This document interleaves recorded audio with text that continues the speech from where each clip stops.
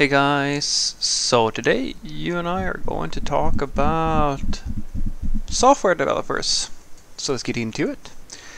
So the question of question was, Fredrik, are there too many software engineers? Nope. Uh, there are not enough software engineers uh, for the jobs that we need, but there's too many bad uh, software engineers. There's a lot of those, like uh, and a hilarious amount, honestly. Uh, there are so many bad software de developers, in fact, that the recruitment process is uh, clogged up, basically. I would say that I've done a few hundred now, I think, over the course of my career uh, interviews because I'm usually involved in the interviewing processes and so forth. And on average, I would say maybe one out of five, one out of ten-ish code tests, even the simplest one, the same test we give junior level developers all the way up to senior level developers, is like passable where it's not like completely broken or something like that. In many cases, uh, you sort of have to get things to the personal interviewing stage fairly quickly because uh, it's very difficult from just a code test to tell if somebody is good or bad. So I don't try to. I, I go a little bit in a different direction with these sorts of things than most of my, some of my other coworkers, and I think that they've started to understand the logic I use where uh, the the idea that you can tell that someone is good or bad based on how they wrote their code really comes down to how well do you know the reasons behind somebody doing something within the code. An example would be if somebody uses a for loop or for each, is that a good or bad coder? If you write unit tests or not? Is that a good or bad coder? Well, it very much depends on what the expectations of the person is when they're writing the software. If you have a very complicated technical problem uh, and you don't write any unit tests, that might be an indicator that you're not very good at solving complicated technical problems. But in, say, front-end land, when you might be primarily making an SPA or like you're doing a code test like that, it's actually very rare that the front-end developers think about unit testing, even though you in the company might care about it. So the question is, should you draw the line with at uh, well, this person didn't write unit tests.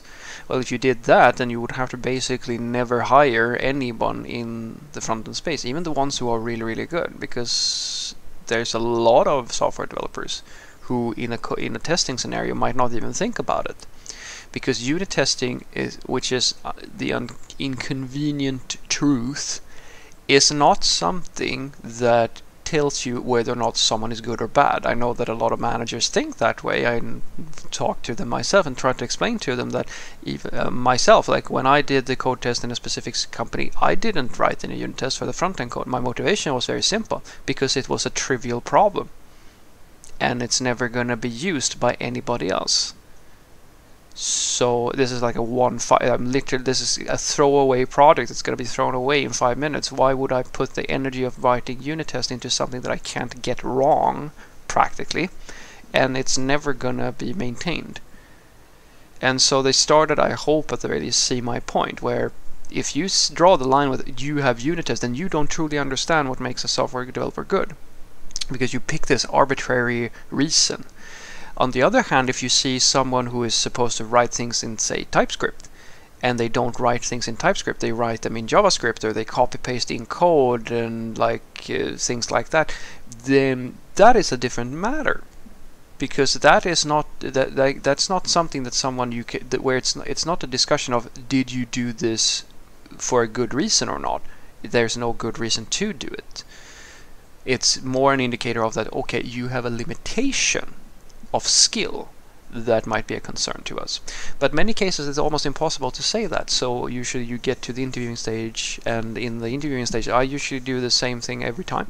I don't check the person's CV. I never check the CV practically. The reason being because the CV is irrelevant to me because I am a professional grade software developer. I've done this for years and I know what another professional grade software developer sounds like. I know how to ask them questions that I know that the only way they can answer this in a satisfying way is if they've done the work. It's very simple.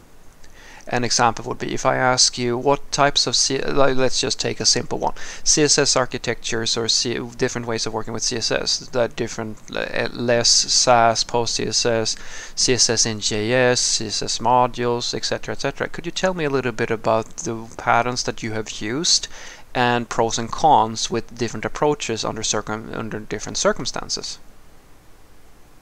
Try to swing that if you've never worked with CSS or try to swing that if you are a poser who think who like you just work you know you took a boot camp and you know how to use exactly one method of doing this. Because there is many pros and cons with different approaches and if you don't know the different ways then that's okay because I can put you on a gauge.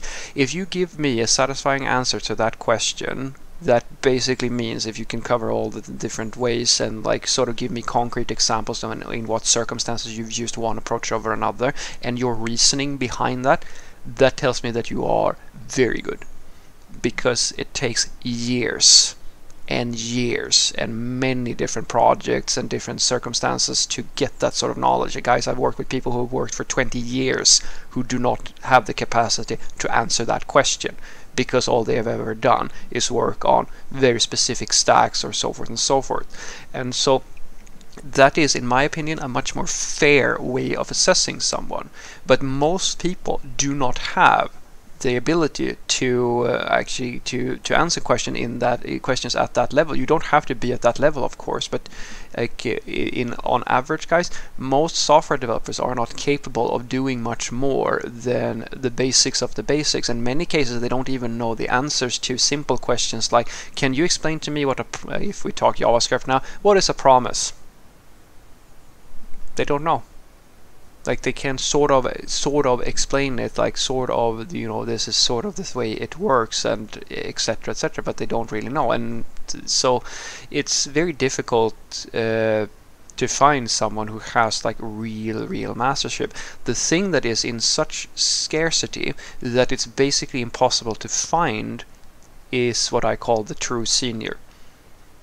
The true senior it's actually funny. Yesterday I got a request for that. Uh, my product owner came to me because he, I've told him that uh, he's going to have to look for a replacement uh, for my sort of profile within the company. And so I and he said that but we won't be able to do that. And I said no it's going to be very difficult but I can give you a few candidates who are going to be able to fit the role. And he said but what, what okay what what do we need? Like what type of uh, person will we need in order to replace uh, like to like take over like sort of scale out the sort of work that I'm usually tasked to do uh, with doing?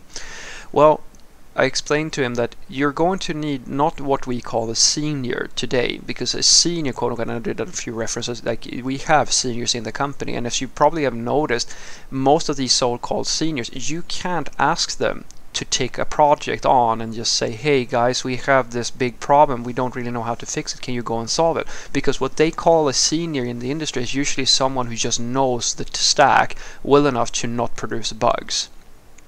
But if you ask this person, can you make sure that we have a delivery pipeline? Can you make sure that we have documentation for the team so we can onboard new developers? Can you make sure that we have like a good understanding of our ecosystem, what stakeholders and what downstream and upstream systems we deal with, what third-party tools we have? Like, can you set up an overall team strategy so that you know basically take charge and make sure that the knowledge they have of all their tools and all that stuff sort of scales to more people and all that stuff? That, that that is not the sort of person that people we have today. We have people where I have to tell them go and do this thing very specifically, and most of the time they have issues even figuring that out. And we have the same amount of years. Same amount of years. We've worked exactly the same. Like in some cases, they've worked longer, and they still haven't gotten to a point where they can do this effectively. Because, as I like to say, there's a difference between years and quality years And so he asked me, okay, but what, what do, do we need? You need a true senior. A true senior software developer is an individual who, as I like to say, they are an insurance policy. They are the sort of person that you hire in order to make sure that the project succeeds. It's not a person who just does the coding. It's not a person who just, you know, sits there and waits for work. Uh, that's a code monkey. And you can be a very sophisticated code monkey, but you're still a code monkey. A true senior software developer has the ability to act independently and make the right decisions on behalf of the project. That is something that a lot of people bitch and moan about being allowed to do, but very few people know how to do it. And finding such an individual is, let's just say, hard. In I've worked in companies, guys, where there it's a gigantic corporations, and I can count on my five fingers how many of those people you have, so-called like the, the people who really have the ability to not just do the work for themselves. They have the ability to actually help other teams or have the ability to scale their the process and actually make sure that the entire project is a success. As such a person is like it's like finding a diamond in a pile of mud because the average software developer does not possess that level of skill yet that is the level of skill that is necessary usually in order for you to be able to ship things in an effective manner.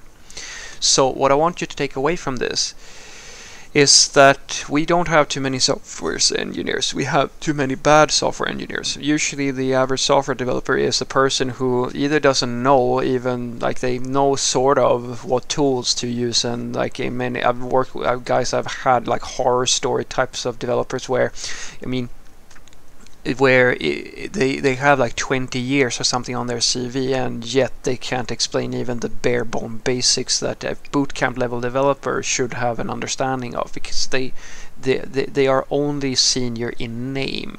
And the same thing goes for juniors and mid-levels and so forth. You have people who get into this business with the mindset that oh this is easy money or this is sort of something that I can it's like uh, it's just ridiculous. They don't understand that this is a significant investment and it requires a lot from you to get good at this stuff.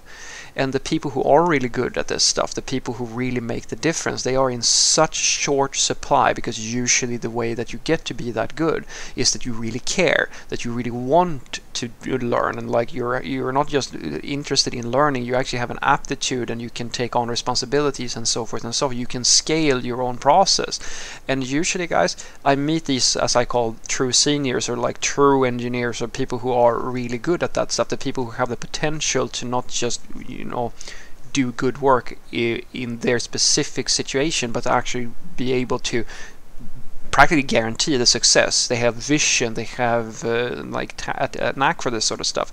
These people, you can have a hundred, maybe 200 people in an interview, and you might find one or two of those people. And as you can imagine, that's not really sustainable for an industry which now has a deficit that is counted in the millions. Have a great day.